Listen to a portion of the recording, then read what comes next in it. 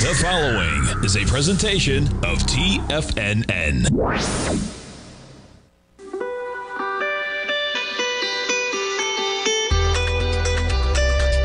The morning market kickoff with your host, Tommy O'Brien.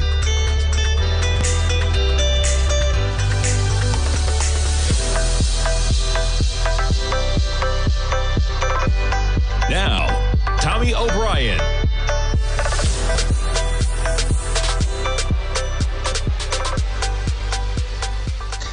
Good Monday morning, everybody. Hope you had a great weekend. Thanks so much for starting your trading day, trading week off with me. And we kick things off, folks, in positive territory. Quite the volatility continuing. We had it Thursday, we had it Friday as well, and this morning S&Ps were up 1.56% right now. That's 56%, 56 points, excuse me, in the positive at 36.54. Nasdaq, as we come on the air, more than two percent. Don't have the chart. Shame on me.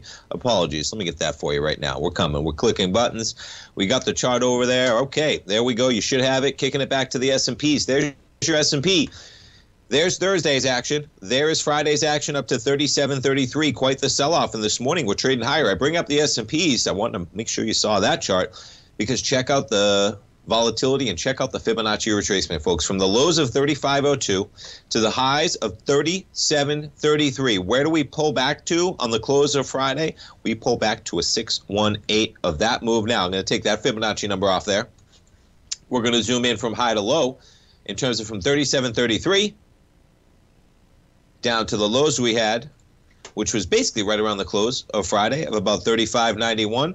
We're now above the 382 up to 36.56. If you're looking for a 618, that's about 36.79. So you're talking about 23 points, a little bit to the upside in the S&Ps. Nasdaq 100, we're over 2% right now to the upside this morning, up 2.1%. The Dow right now up one and a quarter percent, back above 30,000, 30,079. Bitcoin almost makes it to 20,000 late last week. We're at 19,540 this morning. Ethereum's at 1318. We have crude up 76 cents. A little bit of volatility this morning. How about an 84 handle? Just before we come on the air at 8 in the morning. And just like that, crude's up about $2 from where it was at just an hour ago. You talk about some volatility, man. We put crude on the daily basis. Crude from 122 down to remarkably 76. What do we do? We bounce. Where do we bounce to? Pretty close to a 382, folks. Also, an area that we bounced to, which is where we were in crude from about July 13th to August 29th, right? Basically, six weeks, crude, you could say, oscillated at or near about $95, decisively broke away from that area towards the end of August accelerates down to about 76 bucks and we pop almost back to that 95 area almost back to the 382 crude turns over to negative territory but just in the last hour saving itself a bit back to where it was at about 4 in the morning. Gold contract catches a bid this morning down to 1645 overnight. Gold back to where it was early friday 1671 gold up $22 right now on the session and we jump to notes and bonds this morning we kick it off we're going to have a little bit of higher price and lower yield. We got the 10 year right now, 3.92%. You talk about some volatility, man. How about just this chart? Uh, one of the reasons we're getting massive volatility in the equity markets, folks, is you're getting it in the yield markets and the note and the bond market, especially the 10 year. I mean, remarkable, folks. You had a two point drop off on the CPI print on Thursday. And then what'd you do? You climbed right back to that area at about 111.23, and boom, you sell off a point and a half. What are we doing this morning? We're going right back up towards that area, folks. I imagine next stop going to be somewhere near about 111.23. Uh, we'll see, though. The day couldn't be much younger in the week, folks, as we have the opening bell in about 20 minutes from right now. We jump over to the VIX. Now, we got a positive market and it's more and more positive even over the last few minutes. Back to a five-minute chart to see. I mean, the run this S&P has had. I was up about six, uh, yeah, six this morning. So we were at 36, 37. Markets in positive territory, but the market really taken off over the last hour. We're 20 points higher from where it was at about eight in the morning right now. You jump over to the VIX. VIX finally in negative territory. We were higher though. Look where you were at about six in the morning. We were actually uh, at an elevated. VIX was up about 25 cents, maybe, maybe a little bit up as the S&Ps were up 20 or 30 points. Right now, VIX barely down a quarter, down 27 cents. And meanwhile, we get the S&Ps up 1.6%. You get the Nasdaq up 2.1%. Normally, you'd see a little bit more pull from that VIX towards negative territory when you have such a positive market. What's that saying? No one's quite sure where this market's going, folks. Even when you get days like the, today, where you're going to kick the trading week off one and two thirds percent to the upside, the market says, you know what? There's no way we're going to reduce that volatility premium because you and I know that we may be negative by 40 S&P points by 10, 10:30 in the morning. It's possible, folks, with the rip-roaring moves we've seen, especially over the last two days, as the market tries to figure out what's going on with CPI, what's going on with inflation, where will that take us, where will the Fed take us, and what will that do to the economy as we go forward. Okay, with that in mind, we got some earnings still kicking things off. Uh, Bank of America tops estimates on better than expected what? Bond trading. Talk about volatility. Higher interest rates, obviously. Net interest income. Last last week we saw it with the banks. Uh, J.P. Morgan, especially, putting up some big numbers as well. Revenue, they beat by more than a billion dollars. Earnings, they beat as well. Uh, third quarter profit fell to 7.1 billion. They're up this morning. We'll jump over to theirs in a moment. Revenue net of interest expense jumped to 24.61 billion, quite a number. And the net interest income jumped 24% to how much, folks? 13.87 billion. And I know it's just a couple of decimal points, okay? Market was thinking they were going to take in about 13.6 billion in net interest income. Folks, that's an extra $270 million over a 90 day period just in net interest income. And imagine where interest rates are right now. Imagine that they are reporting on basically a three to four month almost delay of their net interest income. So imagine what's going to happen to that net interest income, folks, in the current quarter that we're in, and probably the next quarter, and maybe even further to go from there, right? Net interest margin, that's a key profitability metric for bank investors, widened to 2.06%, edging out the estimates of 2% the market was looking for. Fixed income trading revenue surging 27% to $2.6 billion. Market was only looking for 2.24. Uh, and equities revenue, though, dropping and missing the market 1.5 versus 1.61. Um, yeah, so big numbers for Bank of America. They continue. Some pretty solid numbers for the banks coming into the earnings season. We kick it off with Bank of America and even getting the acceleration it did last week, right? Higher expectations because the other banks did well. Bank of America should put up similar numbers if they deliver, and they do this morning. Uh, and you're catching a lift as well. You're up about 5% right now at 33.21. We jump to some of the other banks, JP Morgan, they're going to be up with the market this morning. And yeah, Bank of America, they are up. The market's up 1.5 to 2% right now, which is quite a pop coming into the pre market. Jump over to Wells Fargo. They were up higher last week as well. They're going to catch a bid this morning, up almost a dollar as well. Citi, they were higher. They extend those gains. All the banks creek being higher this morning as well. Um, Morgan Stanley, yeah, they were the lone one that they traded lower. They did. So they're they're positive this morning, but they were almost a lone miss. Yeah, because Goldman Sachs, they were higher as well. Gave up some of that Friday. No, they're not even out yet. When's Goldman out? Let's see. Jump over to earnings as we come into the break. So Goldman's out tomorrow. They're out tomorrow, probably out tomorrow morning. Uh, $12.15 expected move. So they're going to have higher expectations yet again, as they're going to jump from 300 to 307 on some strong Bank of America earnings. We got positive markets all over the place, man. S&P's up one and two thirds percent, folks. As we come into the break, let's jump around to some of the FANG stocks. Apple shares catch our list. Lift, excuse me, up about three dollars. There's a pop for you on Apple, man. Microsoft shares they're up about five bucks to 233. Nasdaq 100 is up more than two percent right now. We jump over to Tesla shares.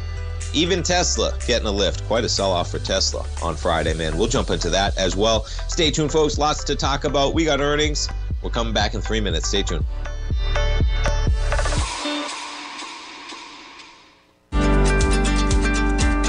Vista Gold owns and operates the largest undeveloped gold project in Australia, the Mount Todd Gold Project. Vista Gold just completed their feasibility study, resulting in a 7 million ounce gold reserve. Vista Gold has all major permits approved and has retained CIBC capital market assistance in evaluating alternatives and in completing an accretive transaction. Vista Gold trades on the NYSE American and TSX under the ticker symbol VGZ. Vista Gold, executing a strategy to create shareholder value.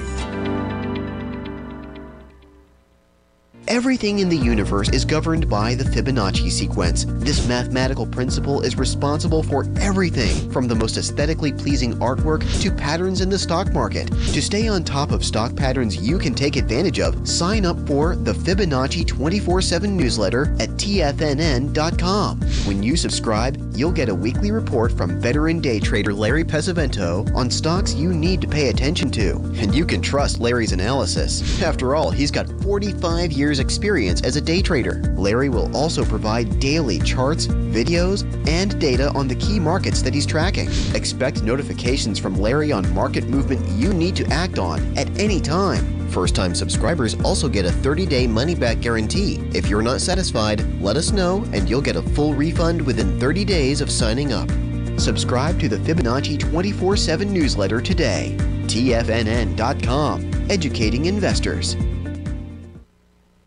Steve Rhodes started his trading career as a student almost 20 years ago, and the student has now become the master. Steve won the prestigious Timer of the Year award in 2018 and barely missed that mark again in 2019, finishing at number two for the year. An amazing accomplishment. Steve Rhodes is committed to sharing his techniques and knowledge with anyone who wants to learn, and he shares his vast amount of trading knowledge every day in his Mastering Probability newsletter. Steve's award winning newsletter, Mastering Probability, is delivered every trading day with updates throughout the afternoon. Sign up for Steve's market newsletter, Mastering Probability, and you'll receive access to seven of Steve's educational webinars absolutely free. At TFNN, all our newsletters come with a 30 day money back guarantee, so you have absolutely nothing to worry about. Visit TFNN.com and try Mastering Probability 30 days risk free today. TFNN, education educating investors. TFNN has launched the Tiger's Den, hosted at Discord. TFNN has been educating traders for more than 20 years with live programming hosted by a variety of professional traders during market hours. The Tiger's Den, available to all tigers and tigresses for just $1 for the year. There's no catch or added costs when you join our community of traders. Sign up today and become a part of this educational community of traders. Just visit the front page of TFNN.com.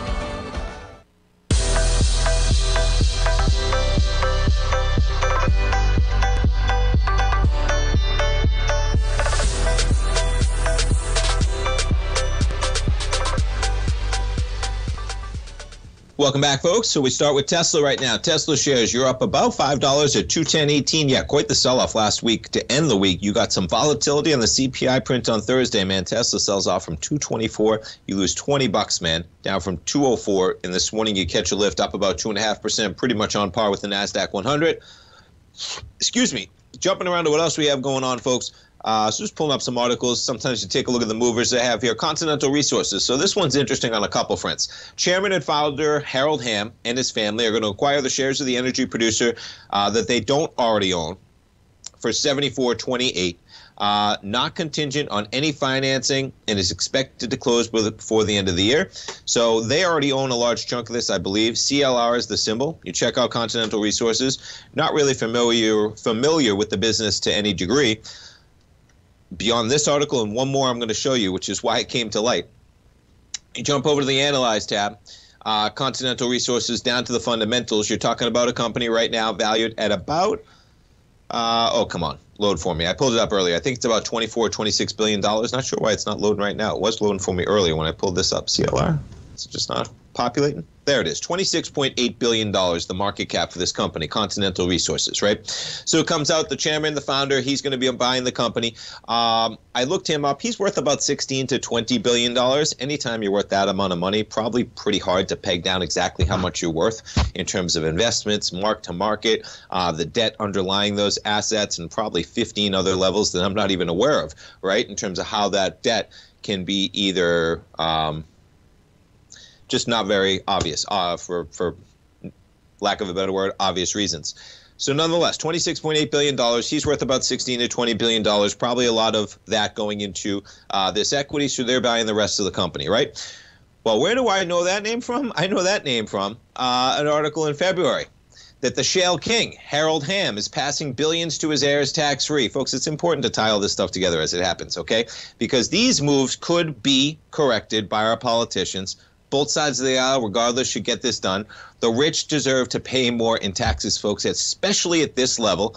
And all you got to do is start fixing those loophole, loopholes. There's always going to be more. You can always say, well, w- w- they're just going to find another way. Okay, it doesn't mean you can't close the loophole, folks. This one seems like a big one.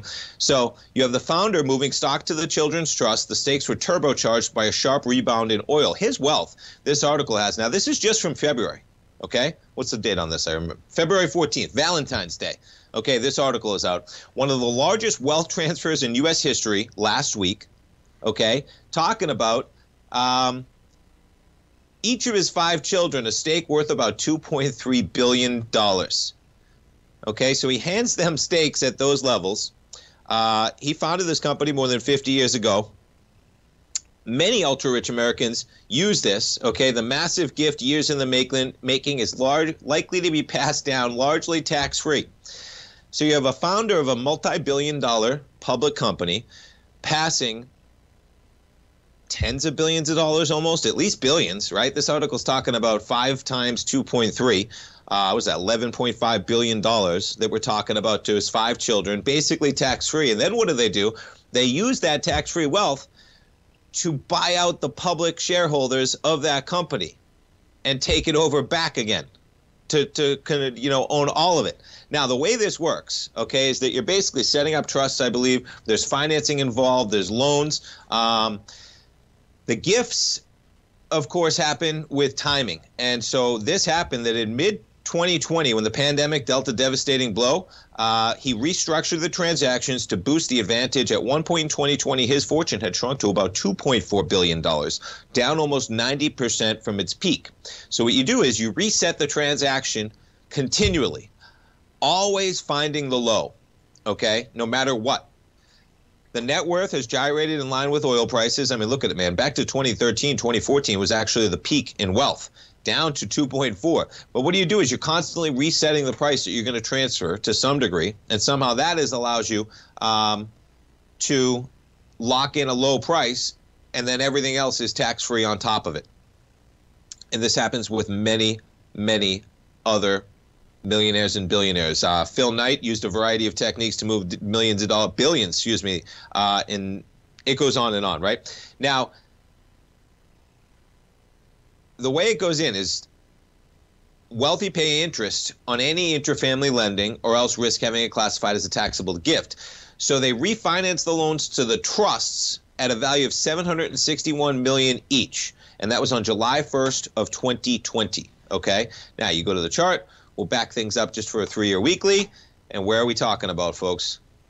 Yeah, we're talking about a level of 14 $15 July of 2020 on those price levels, basically a pandemic lows when crude, crude, if you recall, was at negative prices in April. Um, anyway, you know, that's that's frustrating, folks, when you have um, one of the wealthiest people in the world, right, passing that wealth onto their heirs, basically tax free, and then they all get together as a family, use that wealth, and buy out public companies of public investors in the oil industry as gas prices are spiking.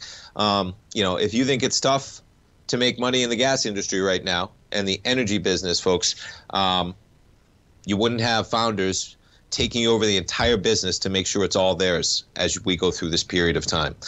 Um, so anyway, thought it was ironic. You see that out. They buy out everybody else of the public company, and how do they get to do it? They do it by passing on all that money to the family tax free. So pay attention, man. That was a tough one. All right, what else do we have going down the line? We talked about Bank of America. We get some other banks. So Apple getting a little bit of a lift as Morgan Stanley named them top pick for its ability to withstand an economic downturn. Uh, they do have quite the recurring revenue. Can't argue there. Yeah, Meta's in trouble, man. You know, they might get there for VR, but they're not getting there just yet. Meta's up three bucks today, but check out that slide from 375 to 126, and the numbers that they're talking about, they're not hitting, and that's what I would pay attention to, man. I've been talking about. I have the Oculus Quest 2 uh, VR headset. It's great, man. It's awesome. There's not a lot to use it for just yet, though. I feel like I pull it up sometimes. There's a couple games. I have ping pong. I actually paid for ping pong on that. Um, platform, so that's a cool one you can play occasionally. There's other ones that you can get for free. But they were looking for 500,000 people in their Horizon Worlds in terms of internal documents. That's their flagship metaverse product, Horizon Worlds. Well, they um, they only have about 200,000 and now they're not even probably going to hit the revised goal of 280,000 that they were looking for by the end of the year. So that's a tough one. Now Goldman, yeah, they were higher as well, but they have a few things going on. They're combining various businesses into three divisions as well, so they're getting a lift, lift probably with some bank earnings, but also getting a lift there with the news that they have coming out up to about 307 bucks. Yeah, and Credit Suisse, you got the Financial Times reporting that they're prepared to sell parts of uh, the domestic bank to raise capital and shore up their balance sheets over uh, at Credit Suisse. Now you talk about combinations. Verizon, Verizon's been struggling in a big way, man. But they're going to team up with Walmart. They're going to sell new prepaid wireless internet service at Walmart, 45 bucks a month, and it's limited to 100 megabytes per second. So internet is. I was having this conversation yesterday um, with some family and friends over the house and saying, you know, we have a lot of streaming services right now in the house. We have uh, three kids in the house, folks, two adults, of course, so five of us. And so you span the spectrum of what we watch, really. And no pun intended, we do have Spectrum for cable, and we get a bundled cable TV with them that comes with it.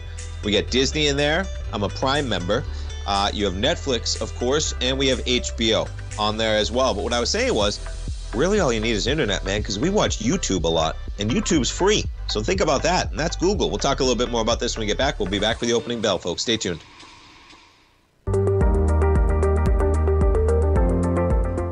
Of booming inflation, where your purchasing power is eroded, there's no better place to protect your hard earned money than in gold. Vista Gold's flagship asset is the Mount Todd Gold Project in the Northern Territory of Australia. This is Australia's largest undeveloped gold project we are talking a world class gold project in a Tier 1 mining district. This is a large scale, low cost project with significant existing infrastructure in a politically safe and friendly mining jurisdiction. Vista Gold just completed the Mount Todd feasibility study, which resulted in a 7 million ounce gold reserve and a 16 year mine life. All of this, combined with the approvals of all major operational as well as environmental permits, this distinguishes Mount Todd as an attractive, de-risk partner, ready development stage gold project. Vista Gold trades on the New York Stock Exchange under the symbol VGZ.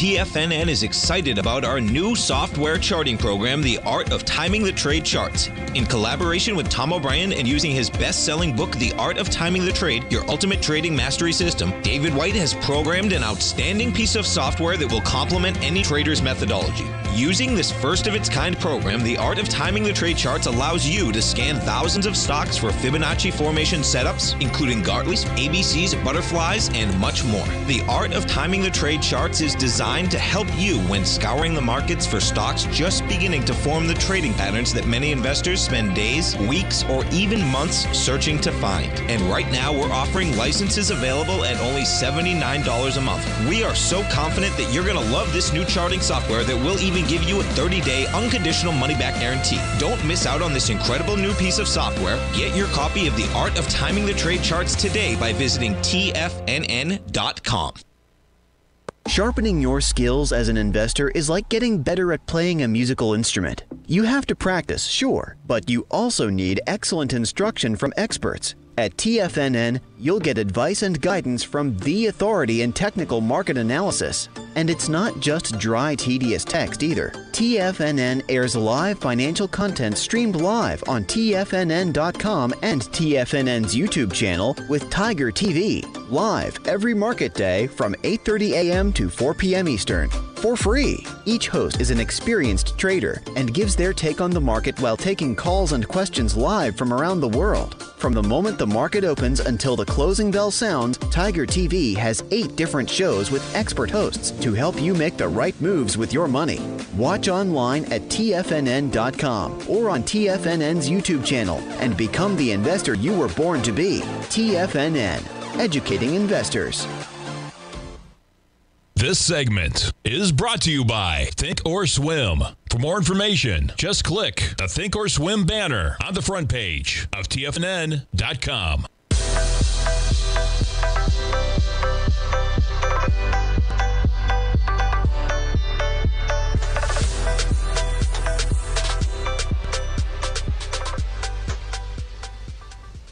Welcome back, folks. We got markets open and we got markets accelerating higher. Watch out, 3666 in the S&P as I speak right now. You're up by about 69 points right now in the S&P. That's 1.9% in the positive as we charge higher. Make it 70 as we speak. Nasdaq 100, we're up 2.6% right now. Dow up 470 points. 30,170. We got Bitcoin, 19,600. We jumped to commodities, crude up a dollar on the session, volatility in both directions to kick things off. Crude trading at 86.63. You check out the gold contract, up about $23 right now. We jump over to notes and bonds, 10 year up about 20 ticks right now at 111.07. And let's jump around to some currency action this morning. You got the dollar index back to 112.52. That is helping out some of these markets right now putting this thing on a daily. Excuse me. Excuse me. Now, we do have a little bit of a pullback, folks, but I'm always, you know, I love the short term, but when you go to the currencies, I would pull up a little bit of a longer term basis because no matter what is happening on a five minute and a 15 minute basis, folks, the trend is intact right now. Okay. Uh, technical analysis is an art, not a science. You could make the case that the, maybe this bottom line deserves to be a little bit lower or potentially a little bit higher using a little linear, linear regression, right? Maybe we got the low in August was the one outlier that took things a little bit lower than maybe that trend should be intact at. Nonetheless, well intact on the upside and the downside. That trend, we're just right in the middle of it right now at 112.53. We jump over to the euro US dollar, 97.7, 97.8, we'll call it. Again, basically the inverse chart of the dollar index. I believe the euro, what's a euro? 60%? Of the dollar index? It may be. It's a big chunk of it. You jump over to the pound, pound US dollar, and I'll get those, um, whoops, percentages up because it is good to know in general. But we have the pound US dollar actually making it back within its channel line. Still a downward channel line, but we got a little bit out of whack there. Today, you get the pound catching a little bit of a bid as they have a new finance minister, I believe, over there. We'll jump over to that in a moment as well. And you got to jump to the dollar yen, man. Dollar yen, what are we doing? No inverse in the dollar yen what so much pretty remarkable the move in gold this morning when you get the dollar yen pushing highs of 149 man. That's a five minute chart. We just made a new recent high at about 7 this morning as you push towards 149 japan man whew, they are in some trouble when it comes to their currency man from 115 to 149 and you're not slowing down at all as you just continue to make highs. I mean we just pulled up the euro we pulled up the pound not even close to the lower levels, right? Check out the euro again to show. Yeah, you're well off the lows of 95 in the euro. The pound not even close right now. Whoops. As that thing really got out of whack to the low side as you're above that level. But guess what? The yen, weakest of them all right now. This market, no weakness at all, man. As the S&Ps charge higher, we're up by 78 points. Let's see on a Fibonacci basis from the lows, excuse me, from where we opened on Friday to that acceleration. Watch out, folks. We're coming into the 618, 3678, 94 right there. You know, if you're looking to get short this market, might be a nice point. Set your short right on the other side. Our man Larry Pesavento, always looking at those Fibonacci levels. They're talking about them in the den. Uh, and you know what, Jimmy? That's great move, man. I didn't even see. Now I look back to the den. Our man Jimmy in the den, he's always talking about those 618s. He was on it, man. 3678, the 618 up to that price level. Uh, and we just get there, folks. We just got to a level of 3677.25 on that level. So we'll see where we go from there. All right, let's jump around and see what else we have up here. We talked about the stocks making moves. Um, no, we talked about that one as well. Yeah, let's talk a little bit of sports and streaming, man. So Sunday, we had some great games of football yesterday. The Bills, man, the Bills look legit. How about the Eagles, man? The Eagles, right? They're undefeated. College football, Bama goes down on Saturday. Uh, baseball playoffs are shaping up. Yeah, the Dodgers. What do the Dodgers have? 111 wins boom, they're gone from the playoffs, man. Uh, some of the payrolls in baseball, some of the highest of them all. The Yankees, they got it done last night. They're on the ropes as well this uh, this playoff series. Spent like 246 million. I think the Yankees versus the Commanders. The Washington Commanders is that their name? No, Gar- no, yeah, Washington Commanders. Uh, I'm not a huge baseball fan, folks. I love the sport. Fenway, the history, the experience is great. Unfortunately, down here, everyone gives the Rays a bunch of crap because they can't get any fans folks, it's tough with 162 games, and you just don't have the experience when you're at a ballpark that's nothing like Fenway or any of these big parks out there. Uh, 162 games in the regular season, and what happens? 162 games, and then you have shortened playoff series of like a best of three, best of five. Why do you do that? Why do you play 162 regular season games and you don't just go best of seven all throughout the playoffs or something like that? I mean, the Major League Baseball, one of the big problems of going to those games, and they're making some changes before next season. You're going to see what? There's going to be a, a timer on the pitch count, right? They're going to really try and shorten those games because games are four hours. And you play 162 games in four hours, man you know they have issues and now you have the playoffs are shortened you get three game series best of three best of five and the best teams are losing because sometimes you catch a wrong couple wrong games and you're out that was it all right well guess what though i just told you i mean that's part of the reason look how fired up i get when i'm talking about sports uh, there's nothing like live sports folks when it comes to needing to watch something at that time. Sports TV rights are costlier than ever, but they're cable's last lifeline. And folks, they're going to be gone, man. We saw the writing on the wall. Week two this year of the NFL. Okay, you had Thursday night football games. Now, they're arguably the worst games on the slate. Usually, not arguably, they are. Occasionally, you get some good matchups there. But they are no longer available outside of Amazon Prime. And that's it, man. That's it. Okay? Now, check out the numbers we're talking about here.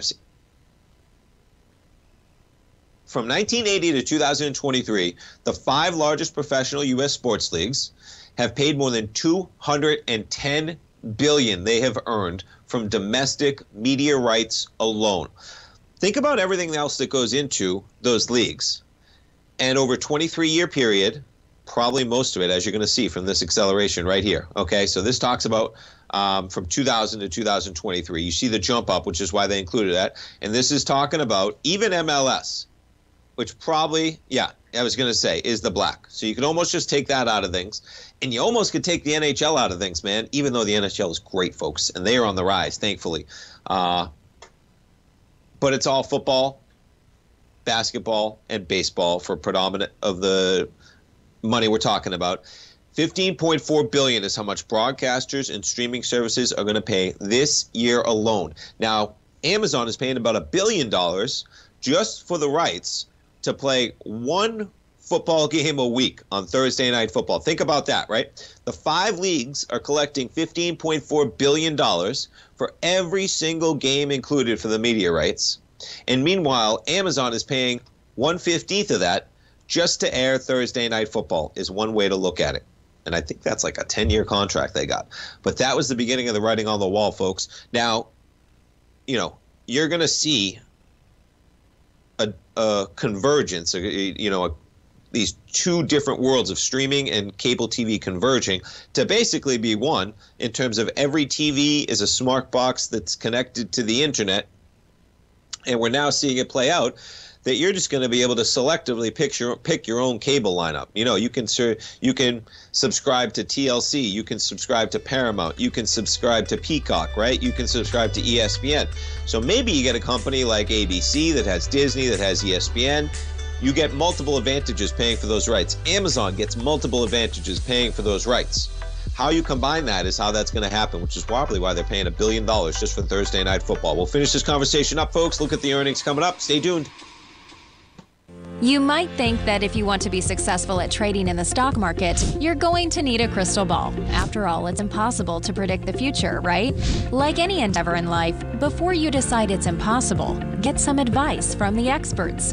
You might find that it's not so impossible after all. For daily market overviews that give you direction on the key indices, selective stocks, and commodities, subscribe to the opening call newsletter at tfnn.com. The opening call newsletter is written by Basil Chapman, creator of the trading methodology known as the Chapman Wave. The Chapman Wave up down sequence gives you an edge in identifying price turns, finding the peaks and valleys in stock prices. Get the opening call newsletter by Basil Chapman in your inbox every day. First time subscribers also get a 30 day money back guarantee. If you're not satisfied, let us know and you'll get a full refund within 30 days of signing up. TFNN.com, educating investors.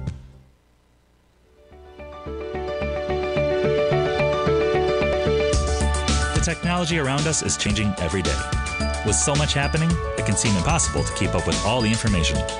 David White's investment newsletter, The Technology Insider, is designed to give you all the information you need to understand the technology that shapes today's markets and tomorrow's future. David White has made his living staying on the cutting edge of technology. His weekly newsletter will give you specific recommendations for value tech stocks, as well as entry prices, target prices, and stops to set for each trade. Dave delivers his weekly newsletters every Friday with updates throughout the week.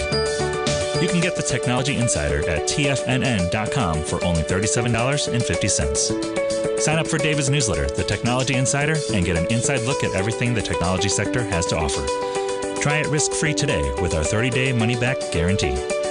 TFNN, educating investors. Will the S&P 500 continue to climb? For bold trades on US large cap stocks in either direction, trade SPXL, SPUU, or SPXS. Direxion's Daily S&P 500 Bull and Bear Leveraged ETFs. Direxion leveraged ETFs. An investor should carefully consider a fund's investment objective, risks, charges, and expenses before investing. A fund's prospectus and summary prospectus contain this and other information about Direxion shares. To obtain a fund's prospectus and summary prospectus, call 866 476 7523 or visit direxioninvestments.com. A fund's prospectus and summary prospectus should be read carefully before investing. An investment in the funds is subject to risk, including the possible loss of principal. The funds are designed to be utilized only by sophisticated investors such as traders and active investors. Distributor Foreside Fund Services, LLC.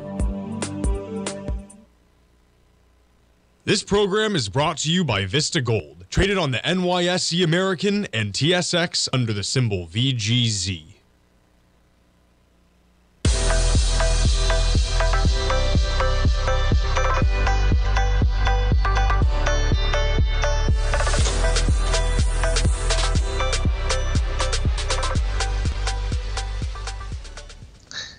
And higher we go, folks. S&P's up 96 points. That's 2.7% in the positive right now. So much for the 618. That's why you use stops, folks. Uh, through that territory, maybe we're on the level of 37, 33 right now. You're only about 40 points away from that level as the S&P's charge higher. How about the Nasdaq, man? Nasdaq 100 up 3.3%. The Dow up 2%. That's 602 points. Dow within about 180 points of the high we had on Friday morning before the market sold off. We got crude trading higher, near $87 right now. Gold continuing higher, up about 23 bucks at 1672. We jump over to the dollar index. Dollar continuing to fall right now, folks. 112.42. Interesting, right? Pay attention to what's going on in terms of this dollar index. Just even rolling over a bit right now, given the market the fuel it needs. We just dropped 60 cents, folks, from 815 yeah, from 113 to 112.40, just like that. And this market's not stopping, man. Let's jump over to notes and bonds. Uh, yeah, even as the market takes off, note and bond market pretty much right where it was at 815. So we got some currency action going on. You could call it a relief rally, folks. Not sure where that relief comes from, considering the CPI print. I mean, imagine the world, right? Where you get the CPI numbers and then they tell you what happens on Thursday, they tell you what happens on Friday, but guess what? You wake up Monday morning and we're testing the highs, man, with the S&P up 2.5%. Not bad. Not bad at all. Okay, jumping back to that article, a couple things I wanted to bring up in terms of just the raw numbers of how important this stuff is. Check out this graphic. Let me see if I can size it down to get it all in there. This is talking about the top 100 annual most watched broadcasts by millions of viewers. This is over a period of, I think, four years in here. So basically, you're going to have um, about 400 broadcasts somewhere in here. Well, guess what, folks? The NFL has got 310 of them. And you see the numbers for the Super Bowl esque, right? There, the four years 100, 103, 98, and 92. What else is next? Olympic Games, the NBA, uh, you got debates, political debates that drew some big numbers in there. Probably Biden, um, Trump, 63 and 73 for the 2020 election. You got some award shows in there. Uh, the Big Bang Theory put up some big numbers, maybe for their finale. Thanksgiving Day Parade's a big one. And uh, Jeopardy specials. Maybe that was some of the Trebek's final episodes in there as they did it. Maybe that was some of the guest hosts filling in to fill his role. Nonetheless, NFL is what we're talking about, folks. Look at those numbers when you're talking about broadcasting. Realize that Amazon is now in the business, streaming is now in the business to exclusively offering streaming to uh, those broadcasts alone. And yeah, that is where the future is going to be going. And those big companies are going to pay, man, because it is too important to get those numbers in there. Cable and satellite TV subscriptions uh, across major providers at year end. Now, folks, graphics can be very, very misleading. Okay, I'm not sure they. What, what do you call it when you do this to a chart, right? The y axis doesn't reach zero. So it makes you think it's going to zero instinctively in your eyes. But really, that should have a, a graph from 90 to zero. It's only going from 90 to 60. Quite a fall off over the last few years, though. Look at that. That's just happening, folks, from like 2017. You're dropping. You had, you had held pretty steady, right? The barrier has broken in the last three to five years for cable TV. It's in a free fall, and it's not going to stop, man. But what you're seeing is it's going to be some type of a convergence between the two, uh, where yeah, you're going to have something like you know the TLC app, as in everybody's going to have their flavor. Those channels are all going to be available for whether they're going to be ad supported, whether they're going to be five bucks a pop. Discovery, all those networks are still going to be there. But yeah, that graphic, we all know it, but boy, they're going to pay for it, man, because that's what people watch, folks, and you got to watch it live. That's the other kicker of it, right? You got to watch it live, and there's nothing like it, so you got to have it there's a fear of missing out when you're selling to consumers, and that I think is the best way to get that done. Okay, let's jump around to what else we have going on in terms of earnings. Uh, and we got some big ones this week. We talk about Netflix. Let's jump over to streamers. We'll stay with it. Up 3.3%. They have been in the doghouse for a while, well off the lows of 162. They catch a lift on the last earnings season. They just go public with the fact that they're going to have now the details of their ad supported network. I think it's seven bucks a month, something like that. Nonetheless, they're up 3.3%. We jump over to the Analyze tab. You talk about some volatility, folks. A $27 move, which you're talking about what? 11, 12% priced into this equity as they'll be out with their numbers after the close tomorrow. So they're looking for 217 a share in earnings on revenue of 7.84 billion. Um, and yeah, it's all going to be about subscriber growth, I imagine. And I wonder if they're going to be saying anything about that ad-supported new platform, because at one point, folks, that was uh, something Reed Hastings said that he was not in the business of thinking about. But everybody else is doing it, and now they realize they're not going to be able to grow just the subscriber base, and they're going to start growing the ad-supported network. IBM is out with their numbers on Wednesday. Let's see. After the close on Wednesday, IBM is out. They're expected to take in about 13.5 billion. and uh, let's see, we got about a seven dollar move priced into the earnings, one twenty two for IBM. Yeah, and we go from there to Wednesday. The main event Wednesday is going to be Tesla, man. Now Tesla, pretty surprised actually that you only have a fifteen dollar move priced into this equity. Excuse me. Back to the chart, two twelve, challenging the lows we had. When you're talking about May of earlier this year, you jump over to the Analyze tab. Ooh, 666 billion, 600,000 right now is the price of Tesla for the market cap of that company, and you're looking at about a $15 move, and they will be out with their earnings, yeah, on Wednesday after the close as well for Tesla shares. So Netflix, IBM, Tesla, some of the companies, among many, many others, coming out this week as well. Let's see, jumping around to what else I had pulled up. Credit Suisse, they're going to get a new CEO, it looks like. So, uh, investment bank CEO Meissner set to leave the lender, and they're also selling some assets to shore up that balance sheet as well. Goldman shakes up the leadership ranks, uh, and that's the CEO unwinds key changes from previous restructuring in 2020 as they continue to deal with what they're doing in terms of the C-suite. There is uh, the third major reorganization in just four years, as the CEO office undoing some of the signature moves he made just recently two years ago. Interesting, right? Uh, he's going to combine its expanded asset management and private wealth business into one unit after that was split up. So Goldman, nonetheless, Goldman trading higher, man. They came out with some big numbers earlier this week as well. And look at this market, man. 93 points to the upside for the S&P. Nasdaq up 347 right now. Interesting that we're going to be coming into the next Fed meeting before we know it, folks. That meeting starting in about two weeks. It's October 17th.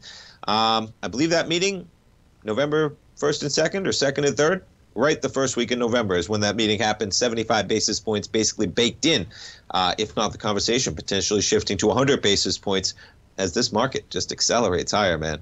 Now, we'll back back to a 15 minute. I'm going to take this little Fibonacci number off there because it's blowing through all the levels right now at 36.91. We're up 2.6% in the S&Ps. But I'm going to add a little context to this, folks. There's your daily. All we're doing is we're back to where we were on Thursday, folks. Just off recent lows in this market. you're talking about, you know, quite a pop, 110 points to the upside, folks. But keep things in context of where we are, where we've been. We're at 36.91, and the data is not lining up for inflation going anywhere anytime soon. So, you know, we're getting a little relief rally, but we get a Fed meeting in two weeks, I'm not so sure that the market's going to be so happy with what the chairman has to say in the light of what that CPI had to say on Thursday. And we come into a pretty important earnings season. We're starting it off. Banks delivered, folks, but banks got a lot of money in net interest income, and that's not how most businesses make their income. So we'll see. Stay tuned, folks. One more segment. We'll be right back. TFNN has just launched their new trading room, the Tiger's Den. Hosted at Discord, TFNN has been educating traders for more than 20 years with live programming hosted by a variety of professional traders during market hours. And now they are expanding their reach with the Tiger's Den, available to all tigers and tigresses for just $1 for the year. There's no catch or added costs when you join our community of traders. In the Tiger's Den, you can look over the shoulders of Tom O'Brien and the other TFNN hosts while they analyze charts during their live Tiger TV programs and join an interactive trading community with hundreds of members exchanging ideas. Interact with other Tigers and Tigresses as they share trading ideas, news analysis, and discuss the market action all trading day, even at night and on the weekends. The Tiger's Den at Discord is accessible on mobile or tablets as well, so it's always at your reach. To sign up today and become a part of this educational community of traders, just visit the front page of TFN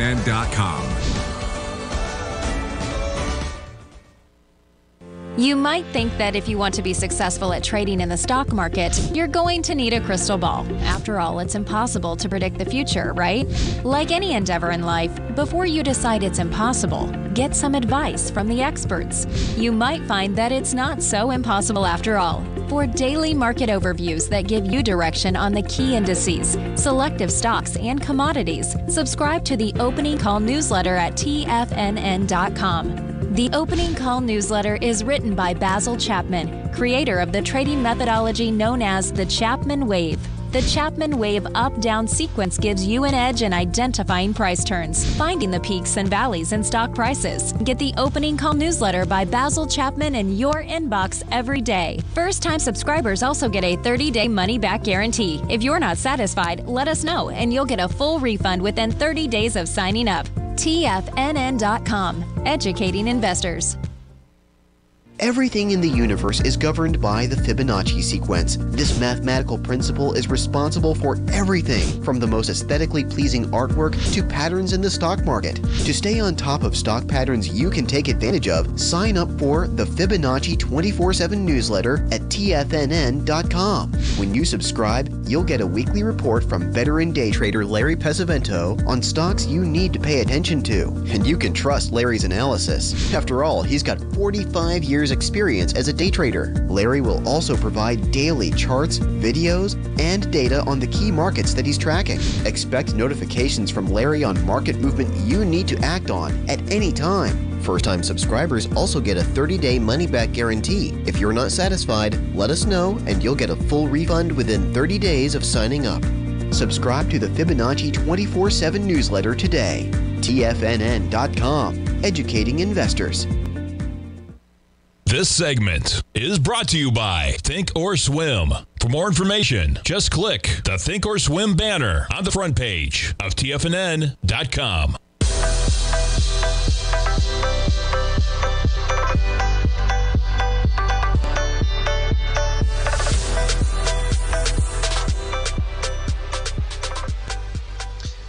Welcome back, folks. We got the S&Ps holding up pretty well right now, up 2.5% at 3688. Nasdaq 100, you're up 3.2%, 11,085. I mentioned we committed some pretty earnings, pretty important earnings this week. Netflix, uh, Tesla, IBM, among many others. Jumping around to some of the articles I was reading this morning. We'll end with this one for the program because it's a good one. It's just making thinks, folks. It's not about what the last 90 days did, folks. The never market never cares about the past. What are you doing for me in the future? Is how it goes.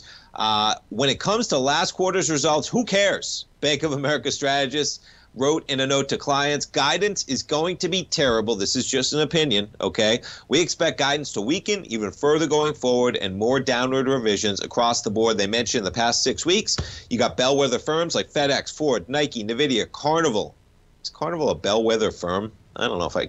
Micron uh, have either reduced their forecast or provided muted outlook. And, you know, we get a lot of dollar strength, folks, and that usually hurts earnings. It definitely hurts earnings surprises, is what they get into for the number. You talk about domestic versus international, check out this chart. Not surprising, folks, but keep it in your mind because, yeah, we have a little bit of a dollar pullback. Okay, and we talked about you got a huge dollar pullback as the market's accelerated higher here. The two are definitely related to some degree when you talk about a basket of firms with domestic sales in the black here versus Goldman Sachs basket of firms with international sales, international far underperforming that numbers. They're going to be facing a tough dollar, man. And if you're doing international sales, there is no denying that taking money to the bottom line is going to be an issue in this market as we come into earnings season, folks. Uh, so be aware because you, you know what else they mention in here is you're talking about an area where you're going to have, yeah, a double whammy of inventory oversupply amid slowing demand creates the main risk this earnings season. So be careful of those companies. Amazon fell victim to that. Retail fell victim to that last earnings. We'll see how it goes around this earnings. We got some waning demand, uh, and we'll see if it plays into the earnings season. But we're coming into it right now, man. S&P's up 23. We'll finish it off with the VIX volatility index down about 60 cents at 31.43. Stay tuned, folks. We got our man Basil Chapman. He's up next with the Tiger Technician's Hour. We got our man Steve Rhodes at 11 o'clock. Fast Market at 12. Larry Pesavento at 1. Dave White at 2. My dad, Tom O'Brien, live from 3 till 4. Thanks so much, folks. Have a great Monday.